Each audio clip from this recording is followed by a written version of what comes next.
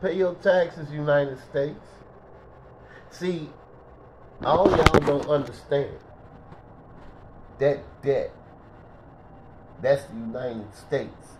That's the taxes that they collect and supposed to pay us. 1933 House Joint Resolution 192. See, I know what's going on. C 197-36715 El Royale. United States is a corporation that collects the taxes for the American people. And the United States has never paid the American people the taxes that they have collected for us. The, the United States politicians are saying that the American people have not asked for the debt owed to them. You see, that's what these that's what they're saying. That's what they're saying. We're just holding the debt.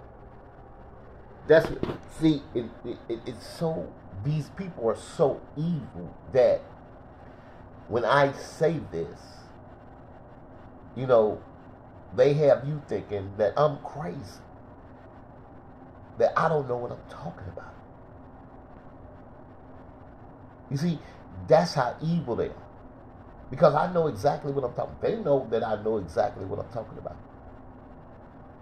But they have tricked the whole nation of people into believing a bunch of lies, into participating in treason and genocide against themselves. That's how evil these people are. And we have no clue. You have no clue of this because it's been going on since 1933.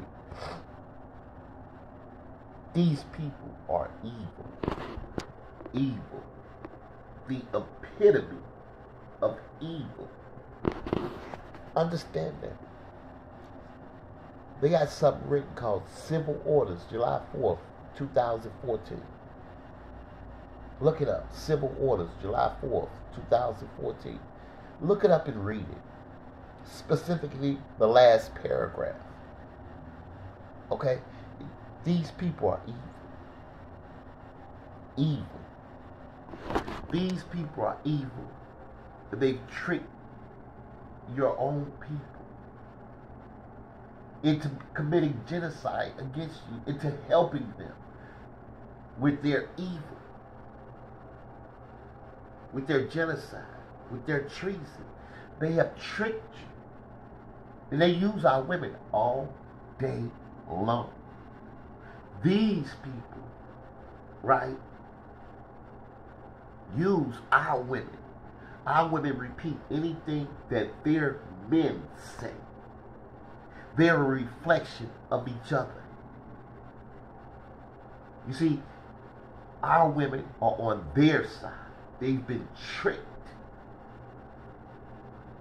They've been tricked. Our women repeat everything that they say. Sick.